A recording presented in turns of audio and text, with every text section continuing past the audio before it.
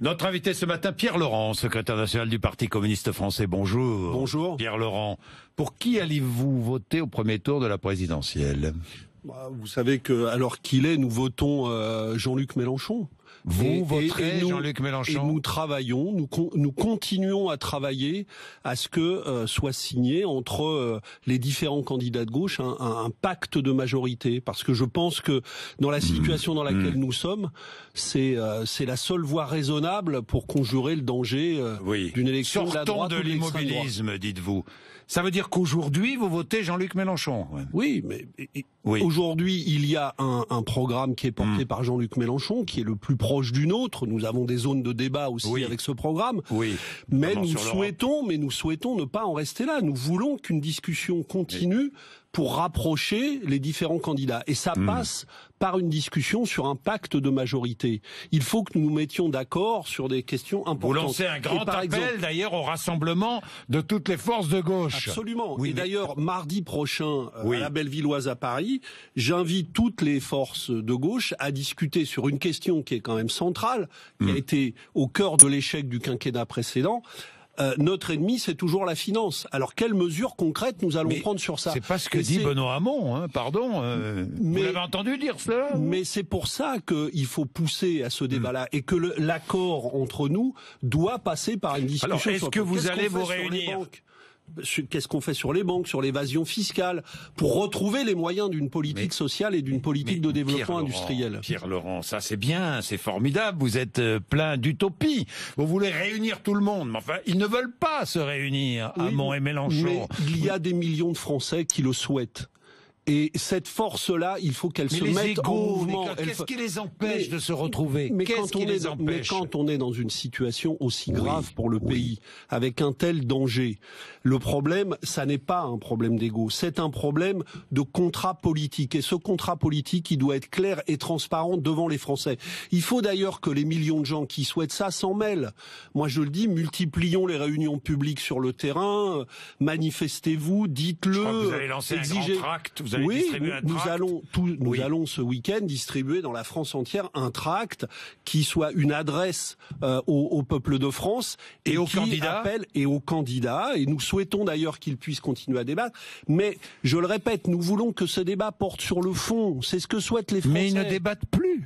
Pardon, Benoît ne- Hamon et Jean-Luc Mélenchon. Non, ne Est-ce dites- que ne vous dites les pas ça, ne dites appelez pas ça. alors a- Pierre Laurent ce matin Est-ce que vous les appelez à une réunion Est-ce que vous pouvez mettre ce matin autour de la table Benoît Hamon, Jean-Luc Mélenchon et Yannick Jadot dans Vous l'adresse seriez l'arbitre. dans l'adresse publique que nous avons euh, que nous avons euh, publiée hier Oui. nous disons que dans les plus brefs délais il devrait y avoir une réunion sur un pacte de majorité il y a bien des discussions entre Benoît Hamon et euh, les écologistes Jean-Luc Mélenchon a écrit une lettre à Benoît Hamon vendredi dernier en euh, Oui. mettant sur la table un certain nombre de contenus.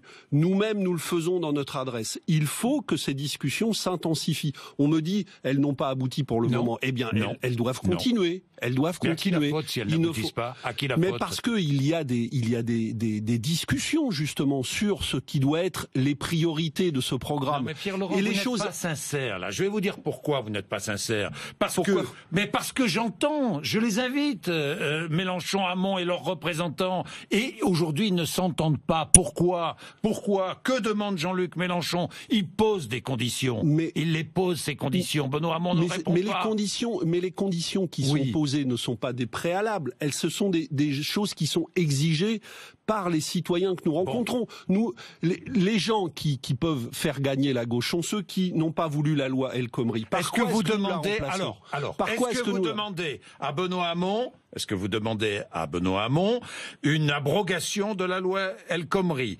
Est-ce que vous demandez à Benoît Hamon d'abroger le CICE, l'état d'urgence permanent? Est-ce que vous demandez à Benoît Hamon de ne pas soutenir Myriam El Khomri et Manuel Valls aux législatives? Alors, alors, sur la loi El Khomri et sur le Hmm. CICE, oui, il faut les remettre en cause. Parce que cette logique qui a été mise en place Abrogation, donc. Oui, il faut abroger, mais il faut ça, il faut dire par quoi on remplace. C'est Hmm. ça qu'attendent les Français.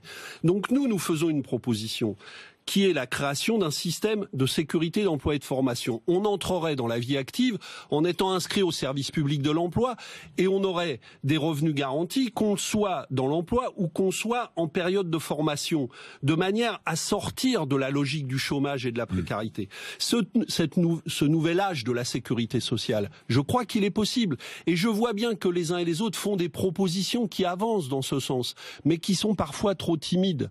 Donc je mmh. pense que si nous intensifions le débat sur ces questions, eh bien, et que nous le faisons avec des, avec des syndicalistes, avec des gens qui attendent la victoire de la gauche, ces choses-là peuvent se débloquer. Est-ce que vous demandez à Benoît Hamon de prendre ses distances avec le quinquennat de François Hollande? C'est évident. Il a d'ailleurs, il, a d'ailleurs été élu. Est-ce qu'il l'a fait suffisamment?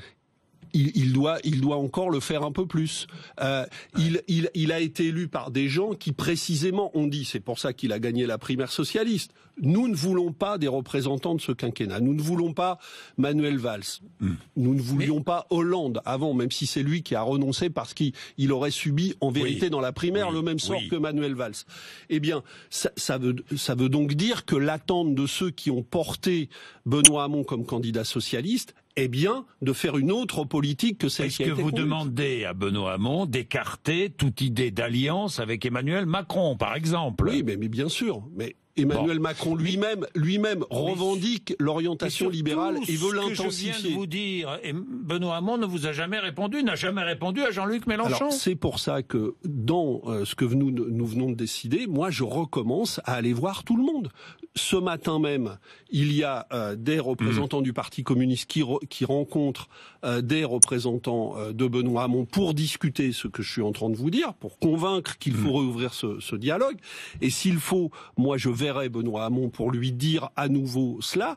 Je continue à discuter avec Jean-Luc Mélenchon. Je, je, hmm. je, discute avec le secrétaire national d'Europe Écologie Les Verts. Donc il faut que ces discussions s'intensifient avec la pression Parti populaire. communiste, il y a une forme de division. Certains sont prêts à rejoindre et à soutenir Hamon, d'autres préfèrent soutenir Jean-Luc Mélenchon. il y a une exigence qui est double, qui est double et qui et qui est largement partagée dans le Parti communiste au-delà des débats qu'il y a et je crois par des millions de gens.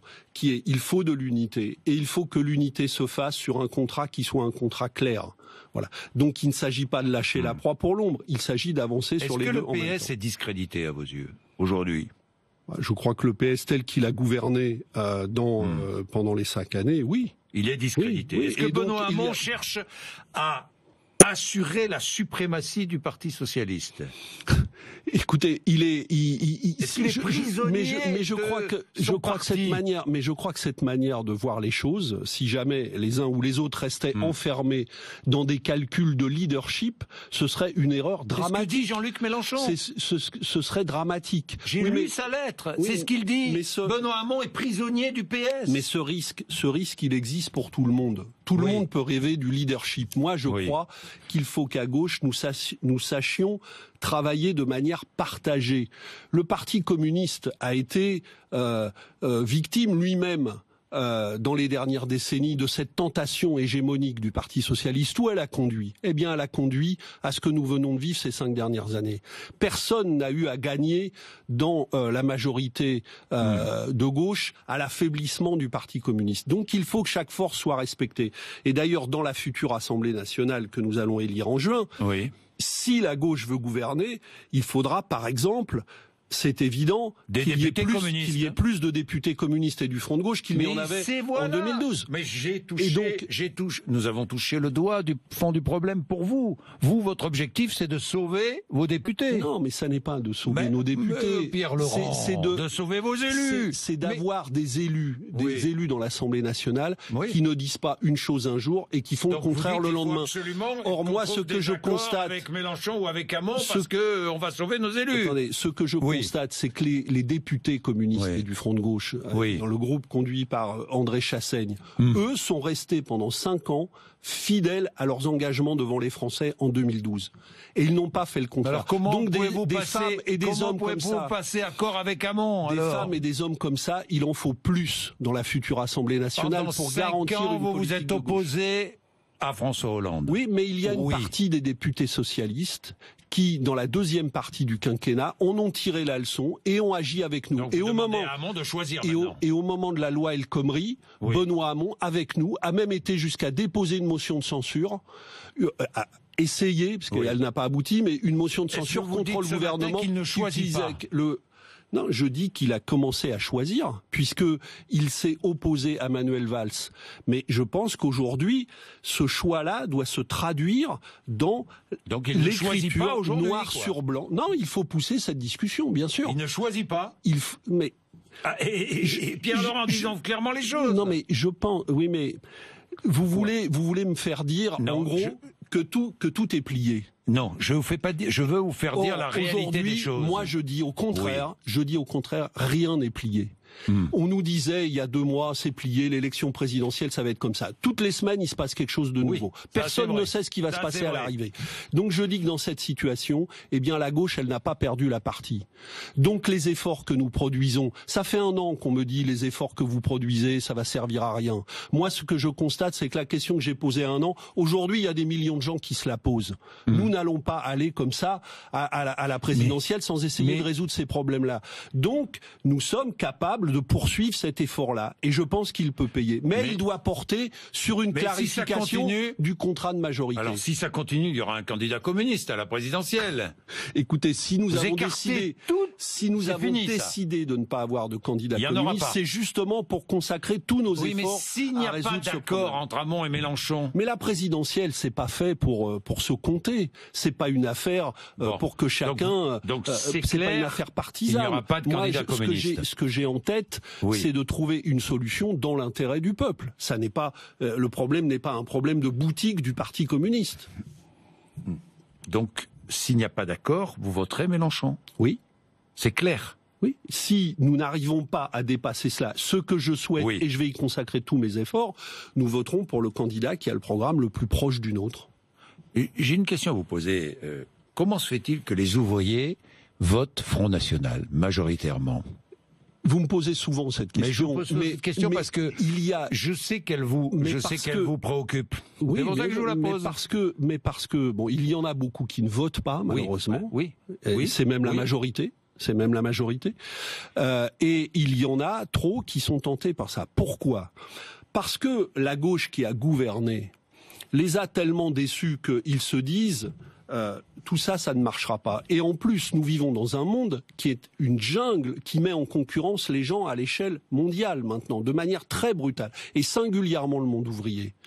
Et les gens cherchent des moyens de se protéger comme cela. Et je pense qu'il y a une imposture dans le discours du Front National, qui est de faire croire qu'ils vont être un moyen de protéger ces ouvriers. Et moi, je leur dis, vous vous trompez. Parce que le Front National, ça sera une concurrence plus forte encore. Regardez ce que fait Trump, qui est le nouveau modèle de Marine Le Pen. Eh bien, Trump, lui, il baisse l'impôt des sociétés, il dit on va faire des États-Unis à nouveau un paradis fiscal, et il va lui aussi continuer à faire la pression sur les ouvriers et il ne va pas les protéger.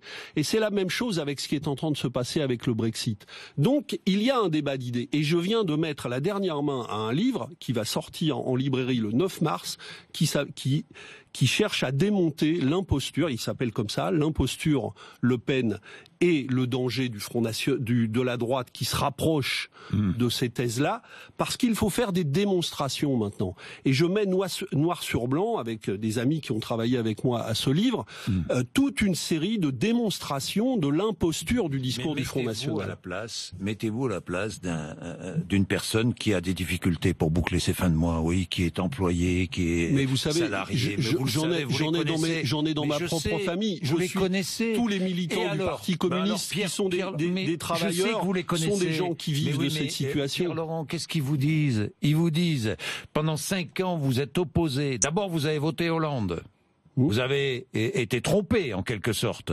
Pendant cinq ans, vous êtes opposé à la politique conduite par François Hollande, et voilà que vous alliez, vous allez vous allier peut-être au Parti socialiste qui a conduit je- cette politique non, pendant je cinq cherche ans. Comment voulez-vous ça n'est pas comme ça. Je cherche à passer un contrat, comme je Oui. le dis, un contrat politique clair avec des engagements nouveaux entre des forces qui ont critiqué ce quinquennat. Et moi, je cherche à ce que ce contrat, justement, soit clairement posé pour que nous puissions nous battre pour l'appliquer. Parce que vous savez, moi, je le dis aussi aux ouvriers, aux salariés, aux citoyens.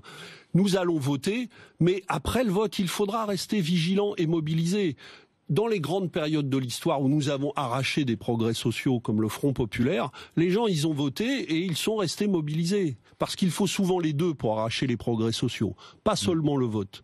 Mm. Euh, donc moi, je crois que c'est un engagement qui doit rester un engagement vigilant. propose le revenu universel, vous êtes favorable ou pas?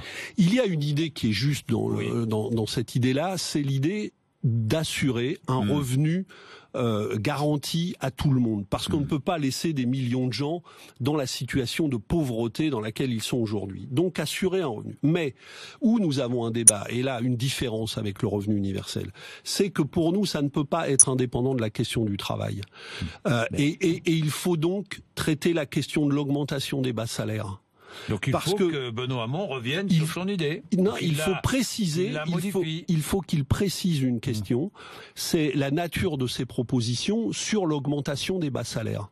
Et nous, nous pensons que là-dessus, les engagements ne sont pas suffisants. Donc nous avons des propositions pour ça.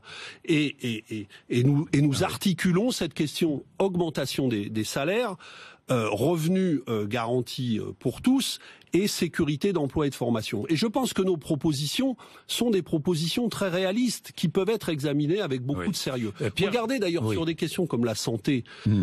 tout le monde bouge. tout le monde bouge. Nous on dit, nous on dit depuis un moment, il faut revenir. Sans donner des détails sur le financement. Enfin, tout le monde bouge. Mais nous, nous avons des propositions sur le financement. Mm. et notamment le fait de faire cotiser les revenus financiers des entreprises qui ne cotisent pas aujourd'hui à la sécurité sociale. Et il y a des dizaines de milliards à aller chercher.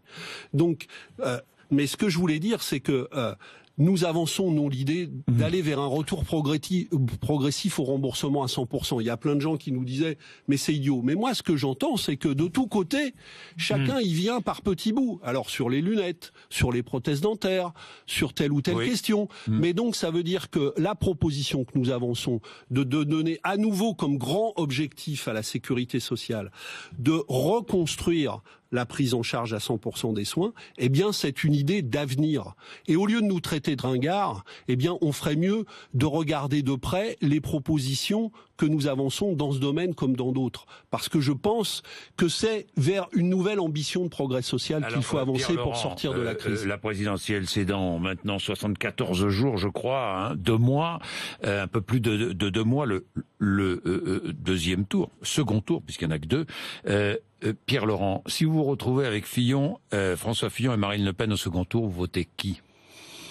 Écoutez, c'est un cauchemar que j'ai envie de d'éviter à tout prix. non, mais euh, cauchemar peut-être, mais ou pas, mais vous bah, votez qui? C'est une première partie de la réponse parce que nous sommes à deux mois de l'élection présidentielle. vous votez qui? Et moi, j'envoie pas comme message aux Français qu'on est déjà en train de discuter non, mais de ça. Bah oui, mais c'est important quand même. C'est de la transparence. Les Français aiment savoir. Vous savez bien. Oui, alors, vous votez qui? Donc c'est les deux choses, mais je vais vous répondre à votre question. Oui. Mais, je tiens à la première partie de ma réponse. D'accord. Vous avez le droit. Oui. Donc il faut empêcher ce scénario. Et le livre dont je vous parlais tout à l'heure, que je vais publier, il est consacré à démontrer pourquoi il faut empêcher ce scénario catastrophe. Ensuite, en toutes circonstances, je vous le dis, moi, je, je, je battrai Marine Le Pen. parce que je pense que, Marine Le Pen... ou Macron. Mais parce que Marine Le Pen, il faut quand même ouvrir les yeux. Donald Trump, c'est le programme de Marine Le Pen. Et d'ailleurs, elle le revendique. Elle vient de se réunir à Koblenz, en Allemagne, avec les dirigeants de l'extrême droite autrichienne, avec les dirigeants de l'extrême droite italienne et hollandaise. Moi, je ne badine pas avec ça. C'est très sérieux. Elle vient d'aller faire une provocation minable à caractère électoral dans un pays ami, le Liban. Et, et cette femme-là provoque, si nous la laissons faire, nous entraînera dans une logique de guerre et de brutalité extrêmement dangereuse. Mais évidemment, euh, je ne me résous pas, disons cela, à opposer à cela n'importe quel candidat que par ailleurs je combats totalement qu'il s'agisse de François Fillon ou d'un autre. Donc c'est pour ça que je veux consacrer tous mes efforts à rassembler la gauche. Merci Pierre Laurent d'être venu nous voir. Il est 8h55. Vous êtes sur RMC BFM TV.